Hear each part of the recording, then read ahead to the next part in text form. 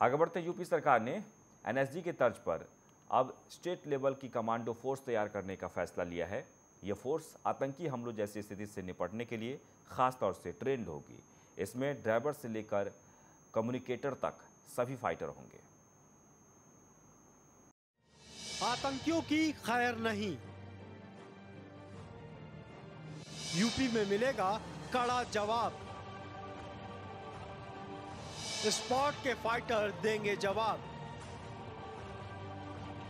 आतंकियों को मात देगा यूपी।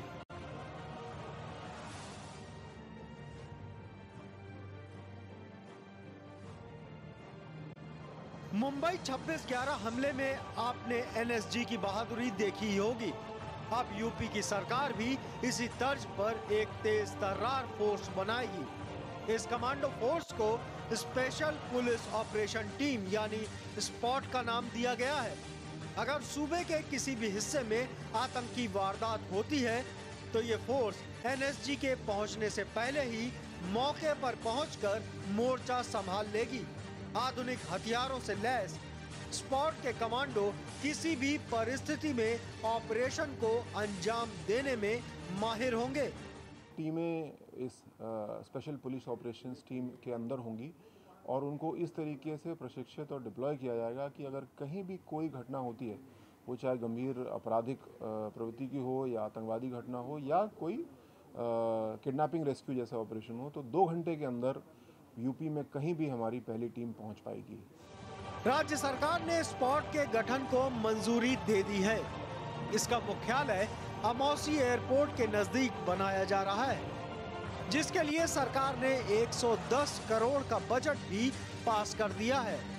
इस कमांडो फोर्स के प्रभारी डीआईजी लेवल के अधिकारी होंगे, जो एटीएस की एक विंग की तरह काम करेगी। दरअसल, एटीएस ऑपरेशन के साथ साथ आतंकियों को गिरफ़्तार भी करती है और कोर्ट प्रोसिक्यूशन के साथ इन्वेस्टिगेशन जैसे काम भी उसके ही जिम्मे होते हैं। ऐसे में स्पॉट कमांडो की एक डेडिकेटेड टीम खुद से काम करेगी। इसके लिए एक प्रशिक्षण केंद्र पूरी तरीके से तैयार हो चुका है और इसमें अंतर्राष्ट्रीय स्तर के प्रशिक्षकों को हम लोग यूपी से लेंगे और अन्य केंद्रीय बलों से भी डेपुटेशन पे लेने के इसमें योजना है।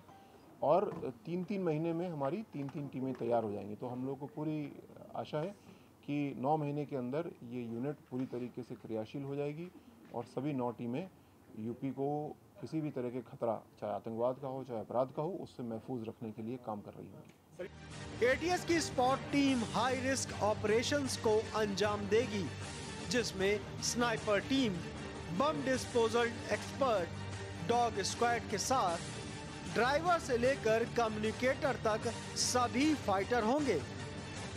आतंकी खतरे से निपटने के लिए उत्तर प्रदेश एक ऐसी कमांडो टीम तैयार कर रही है, जिसका नाम है स्पॉट। स्पॉट टीम एनएसजी के आने तक आतंकियों से पूरी तरीके से मोर्चा लेने में सक्षम होगी। या तो एनएसजी की ज़रूरत ही नहीं पड़ेगी, या फिर एनएसजी के आने तक आतंकी मिशन को रोक देगी। कैमरामैन शाहनवाज के साथ शिवा तिवारी, नेशनल वॉइस लखनऊ।